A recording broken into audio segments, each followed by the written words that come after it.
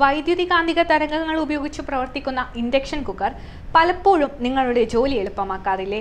വളരെ കുറഞ്ഞ സ്ഥലത്തു കരിയും പുകയുമില്ലാതെ ഉപയോഗിക്കാം എന്നത് തന്നെയാണ് ഇൻഡക്ഷൻ കുക്കറിനെ ആളുകൾക്കിടയിൽ പ്രിയങ്കരമാക്കുന്നത്. ഇന്ത്യയിൽ പതിനഞ്ച് വർഷത്തിലേറെയായി വീടുകളിൽ ഉപയോഗിക്കുന്ന ഇൻഡക്ഷൻ കുക്കറിനു ജനപ്രീതി ഏറെയാണ്. എൽ പി ജിക്കു പകരമായും ചെറിയ പാചക ആവശ്യങ്ങൾക്കും ഇൻഡക്ഷൻ കുക്കർ ഉപയോഗിക്കുന്നവരാണ് നമ്മളിൽ പലരും. എന്നാൽ ഇപ്പോൾ ഇൻഡക്ഷൻ കുക്കർ ഉപയോഗിക്കുന്നവർക്ക് മുന്നറിയിപ്പുമായി എത്തിയിരിക്കുകയാണ് K S E B. K S E ബിയുടെ ഫേസ്ബുക്ക് പേജിലൂടെയാണ് ഈ മുന്നറിയിപ്പ് ഉപയോക്താക്കൾക്ക് നൽകിയിരിക്കുന്നത്. കാഴ്ചയിൽ ഇലക്ട്രിക് സ്മൂത്ത് ടോപ്പ് ബർണറുകളോട് സാമ്യമുള്ള ഇൻഡക്ഷൻ കുക്കറുകൾ വാതകത്തെക്കാളും കൂടുതൽ കൃത്യമായ താപനില നിയന്ത്രിക്കാനുള്ള സ്വാതന്ത്ര്യം നൽകുന്നുണ്ട്.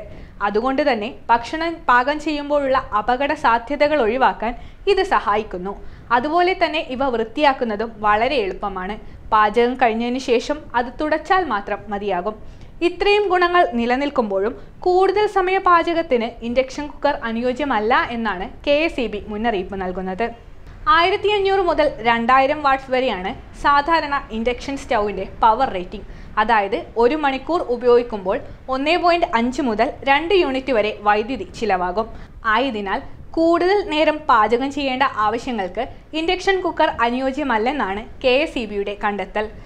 കൂടാതെ കുക്കറിന്റെ പ്രതലത്തിൽ കാണിച്ചിരിക്കുന്ന വൃത്തത്തിനേക്കാൾ കുറഞ്ഞ അടി വട്ടമുള്ള പാത്രങ്ങൾ ഉപയോഗിക്കരുതെന്നും പാചകത്തിന് ആവശ്യമുള്ള അളവിൽ മാത്രം വെള്ളം ഉപയോഗിക്കുക.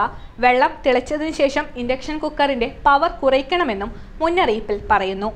പാചകത്തിന് പാത്രം വച്ചതിനു ശേഷം മാത്രമേ ഇൻഡക്ഷൻ കുക്കറിന്റെ സ്വിച്ച് ഓൺ ചെയ്യാവൂ എന്നും അതുപോലെ സ്വിച്ച് ഓഫ് ചെയ്തതിന് ശേഷം മാത്രം പാത്രം മാറ്റാൻ പാടുള്ളൂ എന്നും കെ പറയുന്നു.